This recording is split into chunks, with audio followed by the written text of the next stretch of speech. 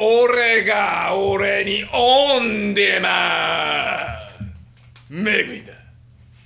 今日は俺の給料明細見してやるよ。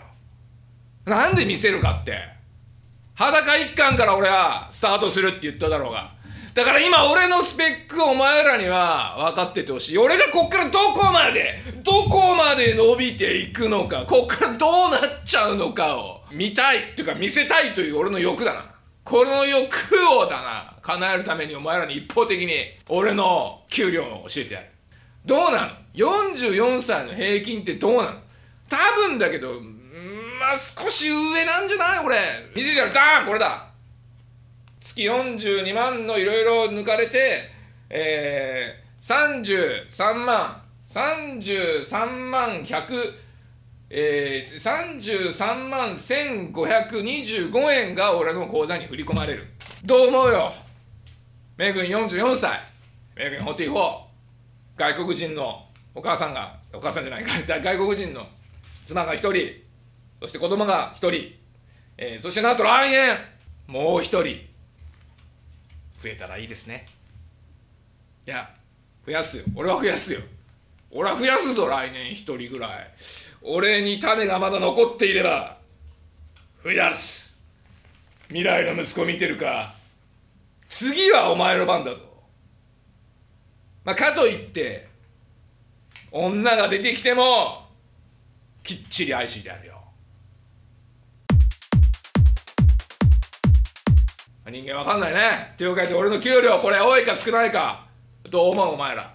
この俺の給料どう思う？俺はね何とも思ってない。俺自身別にこの給料だからといって別に何とも何とも思ってない。俺は今から世界で一番早い馬を作る男だよ。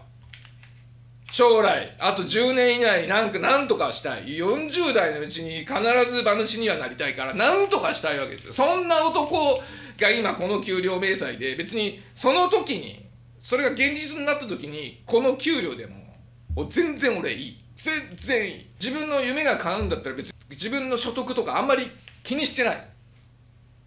というかもう欲しいものが俺ない。誕生日プレゼント何欲しいって聞かれても何もない。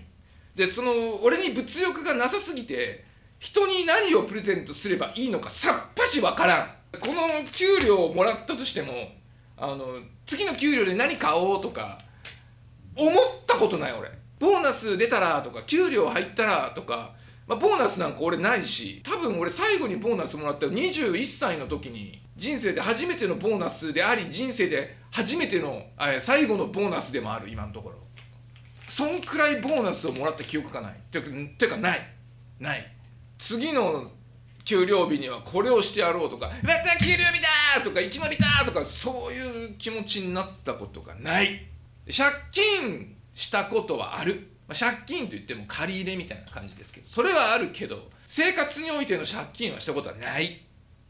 それが俺メグイ44ズキンズキン決まったねこれ。決まったね。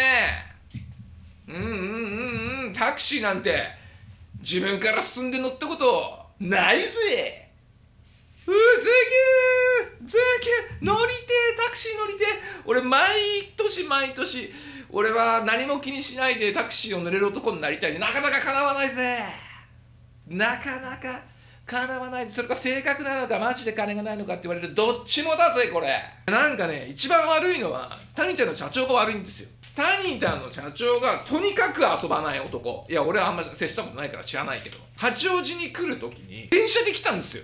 ていうかあんまり自家用車とかを乗り回してる社長の姿を見たことがない。言うたってあの名の通った会社の社長よ。なんかねえブーンとかベンツとかでこうブーン来そうじゃん。来ねえのよ。普通に歩いてきたのよ。電車でね。電車徒歩で来たのよ、まあ、そういう人が身近にいるんでああそういうもんなんだなみたいな。全然腑に落ちる。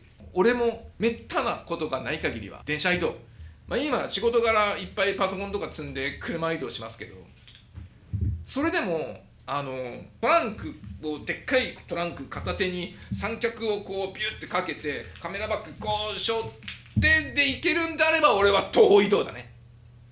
だってそっちの方が俺もじゃ俺俺が頑張ればクライアントはあのね車分差し引けるやん。安くできるやん。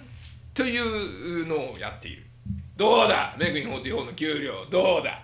多いのか少ないのか羨ましいのか羨ましくないのか。分かんないよね。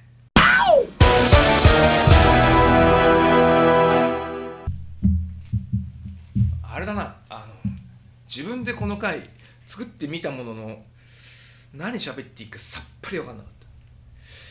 この給料を公開したとこで何が面白いんですかね。